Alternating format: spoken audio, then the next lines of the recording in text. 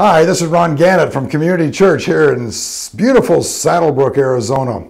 I don't know if you can tell by, by looking at the picture behind me that uh, summer is right around the corner. And the traveling that we're going to be doing as families probably will take us to some exciting places and some loving people.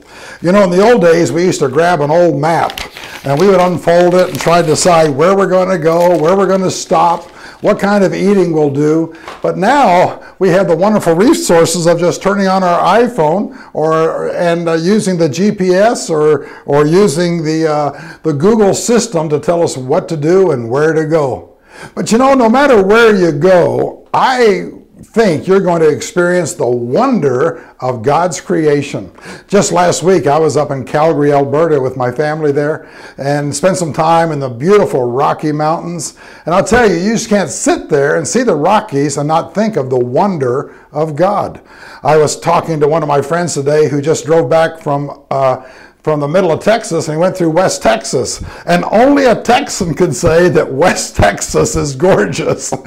but you know, as you drive through that, no matter where you are in God's creation, it's going to be beautiful. Susie and I are going to spend July and August up at our cottage in northern Ontario. Tall trees, grass that I have to mow, beautiful water, swimming and family. It's a great time just to soak in the sunset and be reminded that there's a creator, there's a God in heaven. Just here in Saddlebrooke the other day, I saw Mama and Papa Quail crossing the street with eight or nine little baby urchins behind them. God's creation, God is involved, He cares for us. And you know, I think as you go through the summer months, wherever your travels take you, I want you to sense and celebrate the wonder of summer. Psalm 19 says, The heavens declare the glory of God. The skies proclaim the work of his hands. Day after day they pour forth speech. Night after night they display knowledge. There is no speech or language where their voice is not heard. Their voice goes out into all the earth, their words to the ends of the world. The psalmist is saying that you can look at the stars at night, you can see the wonder of God's creation, and it reveals the very person of God Himself. In fact, the Apostle Paul clarifies that in Romans chapter 1, where, where he says very simply, he says, For since the creation of the world, God's invisible qualities, his eternal power and his divine nature have been clearly seen, being understood from what has been made, so that men, women, boys, and girls are without excuse, because God has revealed himself through the wonder of his creation. You know, God has given us all of this creation to draw our hearts our minds, our attention, our love back to the one who made us and the one who loves us. You know, you probably will be seeing relatives or friends that maybe don't appreciate God as much as you do.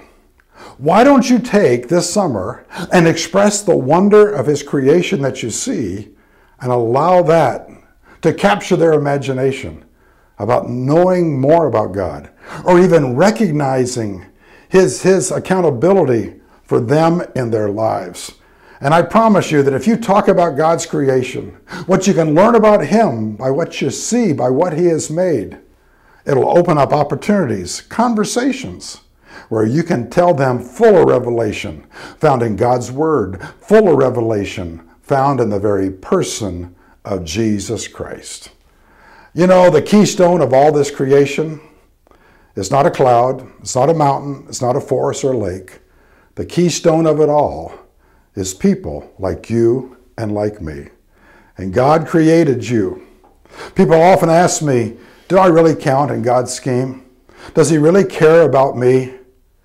You know, I tell them whenever Susie and I wanted to have children, that first one especially, we planned like crazy. We tried hard to get pregnant and have a baby.